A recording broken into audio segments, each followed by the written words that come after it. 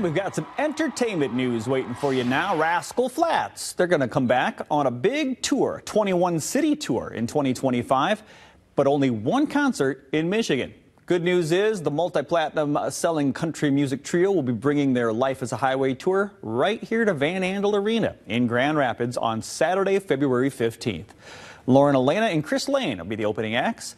Tickets go on sale for this show this Friday at 10 a.m. The old saying, eat it today, wear it tomorrow, holds true even for Halloween, thanks to a new partnership.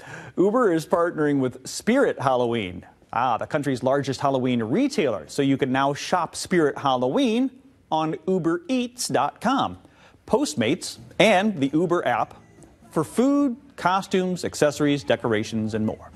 What you can get will vary based on the zip code location where you order, and special discounts apply for Uber One members. There's 40% off the next Spirit Halloween order of $50 or more for them. McDonald's Happy Meals are also getting a Halloween style makeover. The fast food chain's announcing the return of the Boo Buckets, which will include a Happy Meal and can be used as a trick or treat basket or bucket. The Boo Buckets come in four designs, and the company encourages fans to customize them further with Halloween stickers.